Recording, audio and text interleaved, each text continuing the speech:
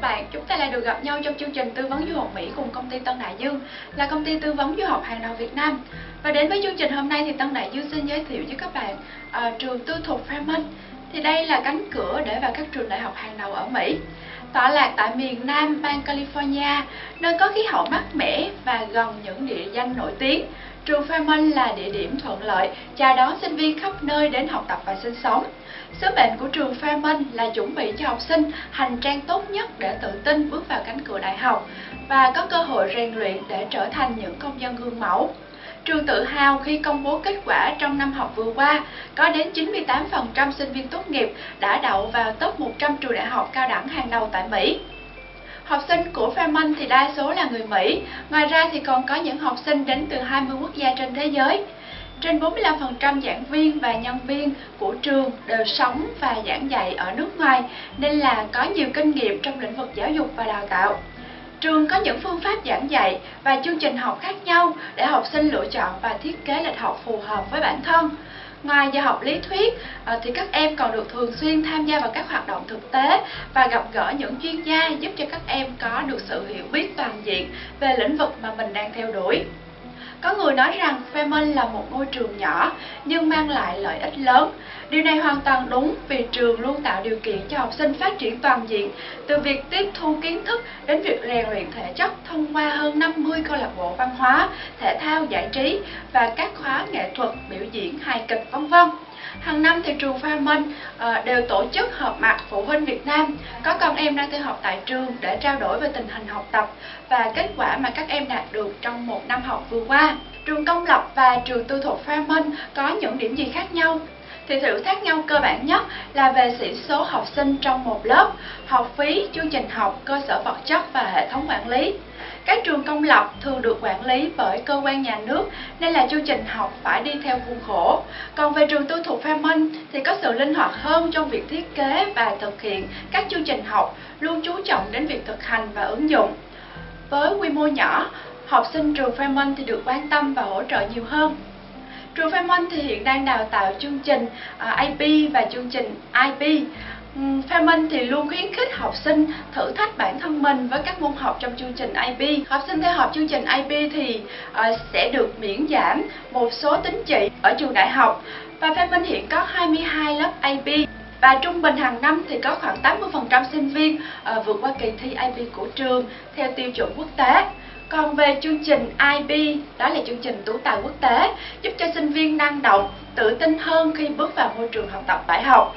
Và nghiên cứu cho thấy thì học sinh ở tốt nghiệp IB thường duy trì điểm trung bình đại học và à, đạt điểm thi sát cao hơn. Thì các nhân viên tuyển sinh của trường nhận định rằng à, IB là một khóa học có những thách thức và khó khăn mà sinh viên đã trải qua ở những năm trung học và mọi thông tin chi tiết hơn về trường cũng như để được hướng dẫn thủ tục du học tại trường vui lòng gọi về số 083 848 4879 hoặc đến trực tiếp công ty thì địa chỉ là 148 1 Trần Hoàng Khải, phường Tân Định, quận Nhất để được chuyên viên tư vấn hỗ trợ. Lưu ý là Tân Đại Dương có hai chi nhánh, một chi nhánh ở quận 5 và thành phố biển Nha Trang. Chúng tôi không có chi nhánh ở Hà Nội. Các bạn hãy nhấn subscribe để cập nhật những clip tiếp theo, cập nhật những thông tin du học Mỹ bổ ích.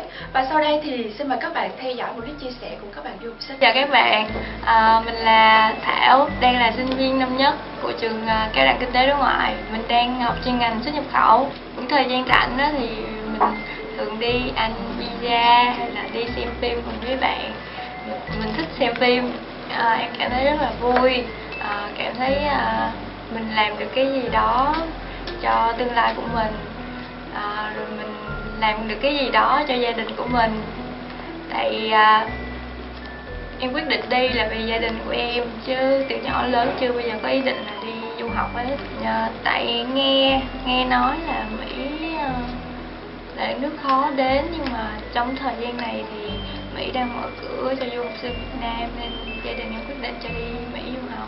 Thì Mỹ thì là nước uh, giáo dục mà đứng đầu trên thế giới với nhiều cái công nghệ cao tư mạnh vô những cái ờ, về vấn đề kiến thức học tập à, về giáo dục cho học sinh. Nên cảm thấy mình tới điểm đến Mỹ là thấy thích hợp nhất để bổ sung thêm kiến thức cho mình. À, khi mà qua Mỹ em sẽ học một năm tiếng Anh. Sau đó em sẽ học 4 năm chương trình đại học chuyên ngành uh, Logistics Major tại trường uh, Đại học uh, Arkansas.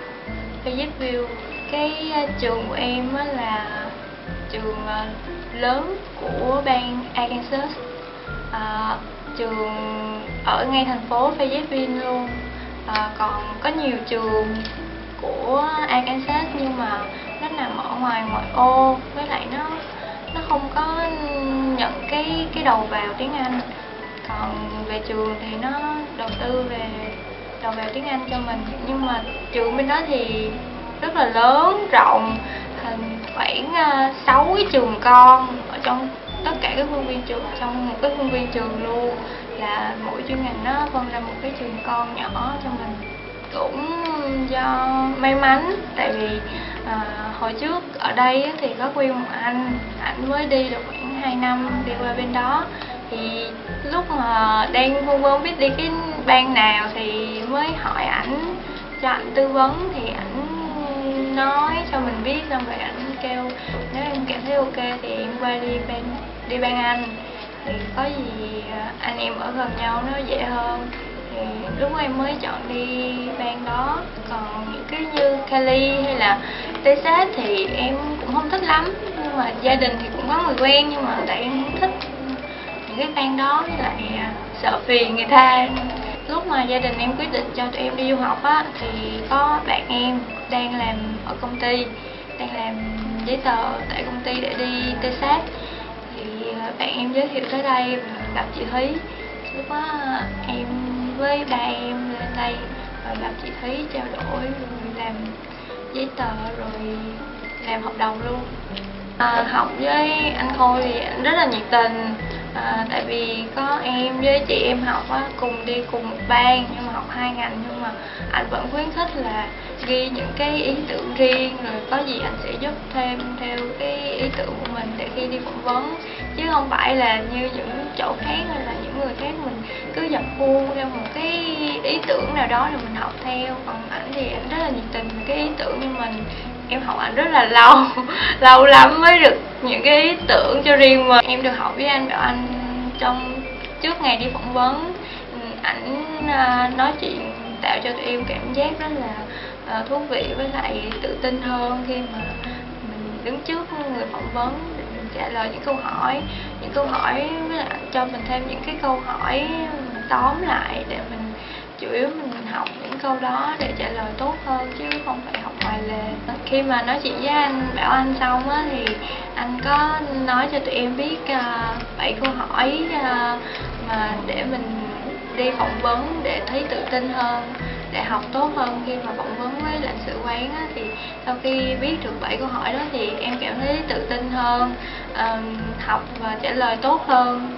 trước uh, người phỏng vấn. Như hôm nay em đi phỏng vấn thì gặp người phỏng vấn người ta cũng hỏi em những cái câu hỏi mà anh bảo anh để dạy cho tụi em. Em cảm thấy rất là vui và thấy tự tin hơn khi trong những cái khi trả lời những cái câu hỏi đó. Và nếu sau này bạn bè em có ý định đi du học ở Mỹ hay ở những cái nước khác á thì em cũng ờ, nghĩ là nên giới thiệu bạn em tới đây để làm hồ sơ cho uh, tốt. Tại vì ở đây làm cũng lâu lắm rồi với kinh nghiệm của các anh chị thì em nghĩ hồ sơ mà tụi em làm được chắc sẽ ok.